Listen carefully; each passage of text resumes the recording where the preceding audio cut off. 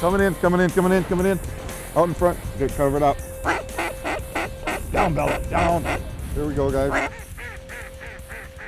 That's a drake. He's gonna come right up the channel here. Get at that, guys. Get at that. Get at him. Good shot. Boy, did that come good, huh? Ooh, that's a nice green head, actually. Green Big old green head there. All right. Hey, hey, here they come. Oh, it's a big drake in the back. Yeah. guys. Got a big greenhead sailing over the top of us, Doug. Coming in, guys. You guys be ready now.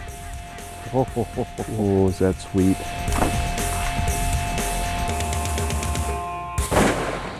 Awesome. Attaboy. Good shot, man. Yeah, that's early fall in the prairie. This looks pretty good here. Look at this pintail's gonna come right at us. Might drop in here right now if they see that spread. Here he comes. Look at that duck.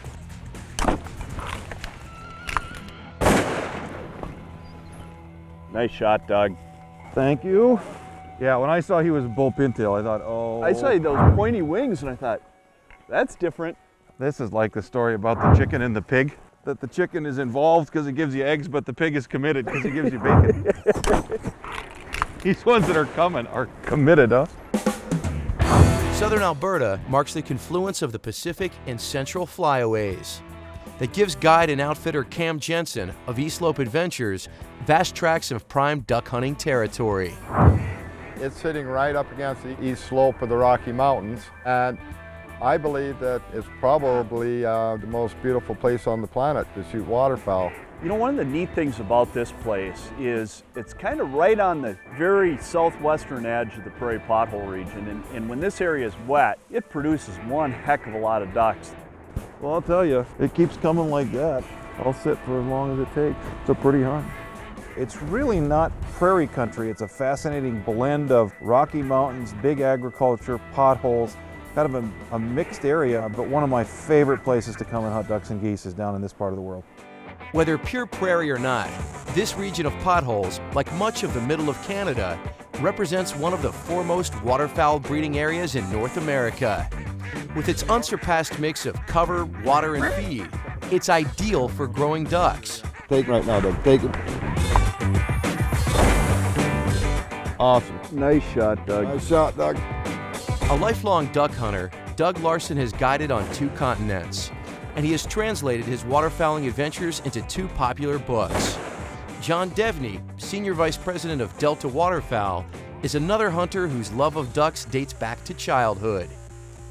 My dad took me for the first time when I was four years old. And I don't care where you are, there's nothing that gets me more excited than seeing those ducks on that final approach. They're coming in. Here comes the flight. That looks serious, doesn't it?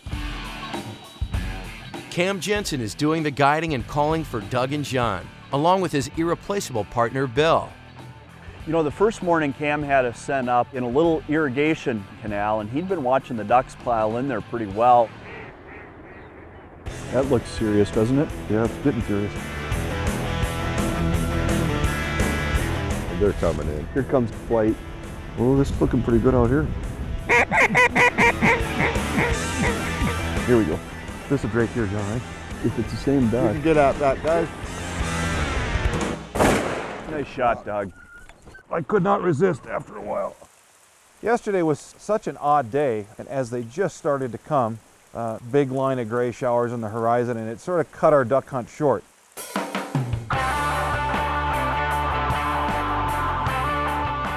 One of the reasons I trust Cam so much is I've gotten to the stage where you'll come across some of these places that they don't look like the kind of place you would stop and even look for mallard ducks. And yesterday afternoon was absolutely the typical example. And we come to this low spot next to the road, and this thing, probably four or five acre marsh, surrounded by those thick bulrush tules. And I said, I don't know, Cam, doesn't look like much of a duck spot to me. And Cam looked over at me and he gave me that big wide grin and he said, there were 3,000 ducks in here last night. Here we go. Coming back from behind us, John. Gonna come over our heads from behind.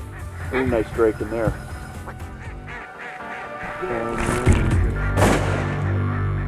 Attaboy. That was just too nice a decoy to not. Yeah, Yeah, that was pretty. Oh, if they work like that, we are going to be in hog heaven here. Here's four on Four top. on top. One big green head. Coming out. There's a drake on the Yep. bottom, guys. Yep. Cupped up. Cupped up.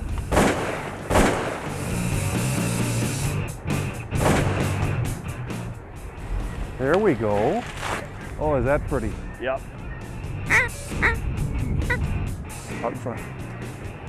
Single in Here's front. one right at us. I think Right in front. Drake too. That's green right there, I think, Doug. He's killable. Oh, nice. Cup it up. Cup it up. Take it. Take it. Nice shot. That was good. Behind us. Here's a green head from the right. There you go. Oh, nice Ooh. shot. That's my sweet spot right there. Like that Hemingway quote where the last one's as good as the first. Shooting flying.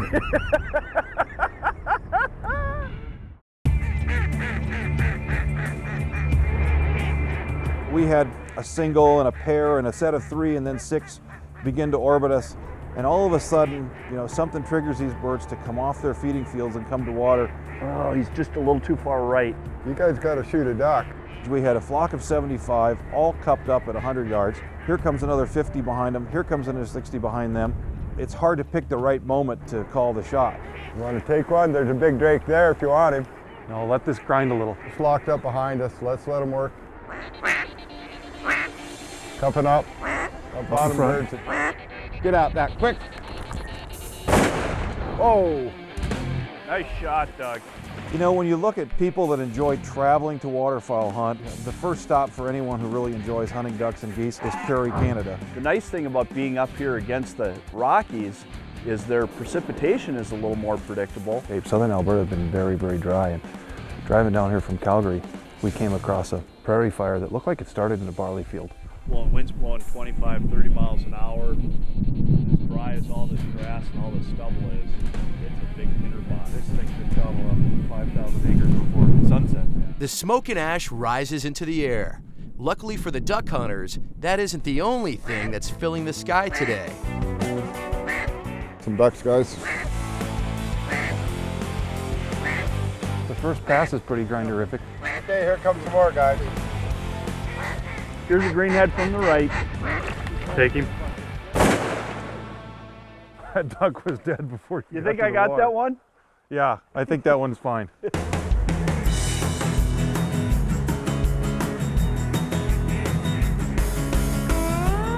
And those ducks worked really nice, but the real show was after dark. Look at the footage there. here.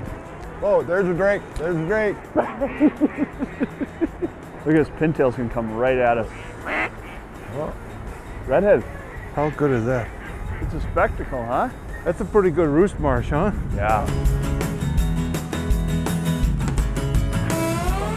I think if you like steaks, you will like grilled mallard meat. You will not ever see me on the food channel, although fairly evident that I've eaten more than my share of ducks in my day. The ducks the hunters are enjoying tonight are the products of ancient events. When the last glaciers retreated from over the continent, they left behind both a layer of fertile soil and scoured out potholes throughout what is now southern Alberta, creating a perfect breeding environment for ducks. So, in a very real sense, the hunters can thank the last ice age for the ducks they're about to enjoy on this final day of hunting in the prairie pothole region. You know, even if you scout it and you and you look at it and you know those birds are there, it's you're always rolling the dice. You don't know whether or not those birds will be back. We were able to get those final approach blinds in there and get them covered up good. And boy, I tell you, I think about the time the last decoy splashed, we had the first ducks in the air, and it was a show. That first one? pair, guy. Here comes a pair, right over the top. In front, in front.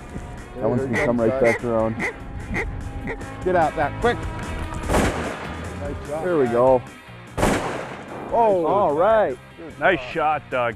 I think they're both Yeah, real nice shooting, guy. Right in Watch front. this one. Up and down in there. Get out that quick. Nice. That's how we do it. My favorite way to see ducks.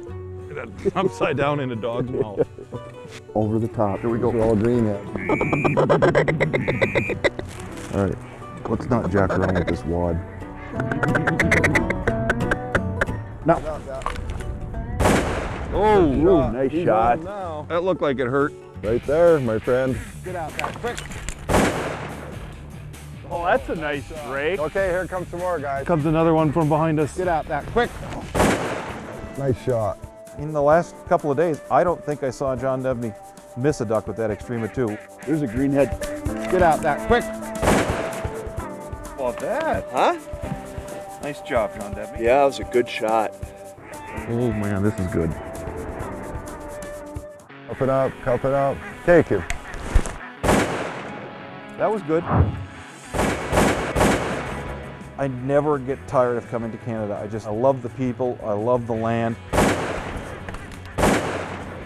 When I see those ducks cup in, it's just one of those images that just frozen in your mind forever. Attaboy. And, and there's nothing more fun than watching that last pass as those ducks burn over the decoys and knowing that you had them totally and completely fooled. Take him. That's how we do it. Oh man, this is good. Okay, watch these guys coming in. Get at him, guys. Good shot. Oh my goodness, look it to the right here, John. Let him come. Good shot. Right side.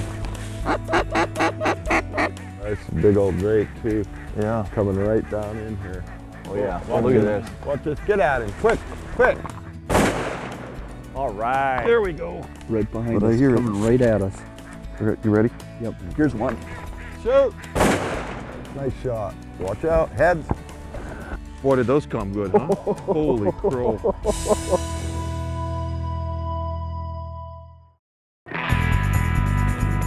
Holy crow. Behind us, coming right at us. There's a greenhead. Get at him. Good shot. He did not have much luck. Dude, here's another big bunch from the south. Watch this pack in front of us there. Ready? Get out that. Woo! Me likey. Those new final approach are kicking some butt on those decoys. You're liking those decoys now, aren't you, Jensen? oh man, I'm telling you, they're landing them. The drawing power of the final approach decoys on these Alberta ducks is based on the extreme realism achieved in the design work of master sculptors who recreate every detail of live ducks, down to the last vein in a feather and the shape of a bill. Oh, right over the top. There's a nice One greenhead. coming straight at us. Get out that guy. Good shot. Ooh. Whoa, where'd they come from? Eggs, my friend, eggs. Cam is just absolutely crazy about hunting migratory ducks and geese. He's one of these sort of the guys that lives the lifestyle that we'd all like to live. Got access to thousands and thousands of acres of the best available duck ground up here. Uh, we know this country pretty good. It's just sprinkled all over the place with little potholes, big reservoirs. It just makes for a great waterfowl resource up here. Let's take this pair that's down low. Whoa, holy cow. We're gonna get one chance. There's a greenhead. Good shot. But I tell you, it's a fast commitment, man. They come down the escalator and they are here right now. Both Doug and I grew up in Minnesota, so we're kind of kindred spirits. We sort of lived the same waterfowl hunting tradition back there in Minnesota. He's about as good a duck hunter as you can find out there. So it was just a lot of fun to be back in the duck blind with Doug, especially in such a neat spot. God, is that backdrop spectacular, eh? These guys are locking. Break right on us. There you go, backbirds of greenhead, Doug. Shot. Nice There we shot. go. Yeah. I don't know how long I've known John Devney, but it's been at least 10 or 15 years. John's done a terrific job at Delta, done a lot with their communications. He's a passionate waterfowl hunter. He's a consummate all-around outdoorsman. He just loves to be outdoors with friends and family and people in the industry. Got two more locked up. Oh, they're gonna settle right in here too. Oh yeah. Ready? Get out now. Oh, you and I shouldn't hunt together. I think the reason I do it every day and work for an organization like Delta is I want the future ducks and duck hunting to be better than I've seen it. And that's going to be a tall task. There are a lot of challenges facing ducks. There's a lot of challenges facing duck hunting. But I think Delta has a real opportunity to make a difference and make the world a better place. Look at that.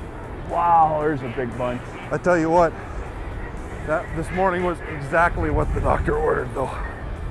And the doctors ordered the perfect prescription for duck hunters in southern Alberta